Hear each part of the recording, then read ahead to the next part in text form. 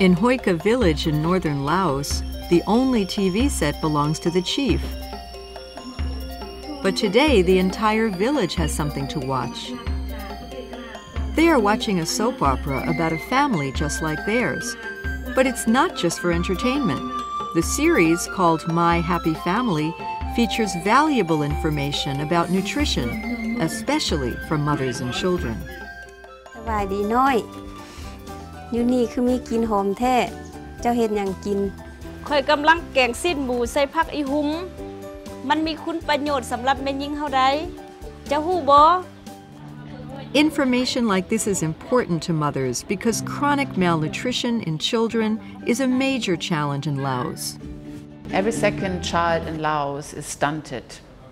That means these children are too short for their age, but also their mental development is impaired. Then these children are sick more often, have low learning outcomes, reduced lifetime earnings, and as such, then stay in a cycle of poverty.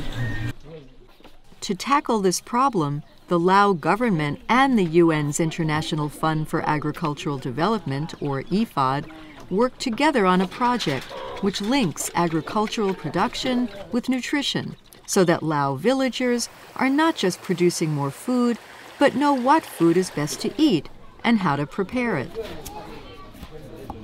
A soap opera is the perfect vehicle to bring these messages across. อีกปัญหาหนึ่งในการสร้างสารคดีตัวนี้ขึ้นมาก็เพื่อว่าเป็นการดึงดูดจิตใจของผู้สม เพื่อว่าให้มีความจืดจำแล้วก็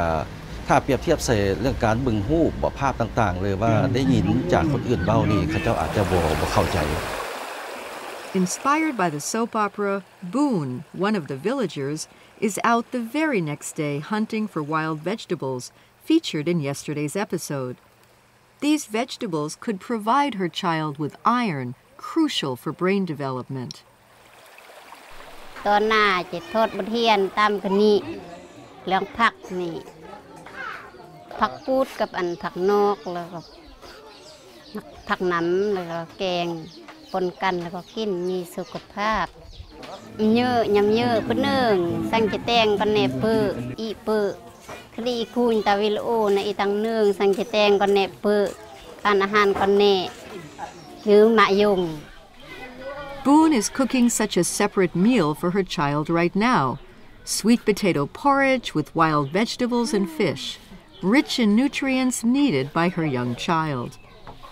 There is not enough fish for everybody, so for the rest of the family, she is making a bean mix, a good alternative to animal protein. This is another practice she picked up from the TV series.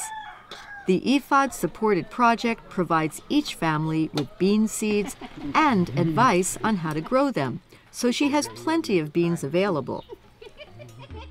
And it's a success. Boone's family are enjoying her latest recipe. But tonight, they are eating rather quickly because they need to catch the next episode of the soap opera.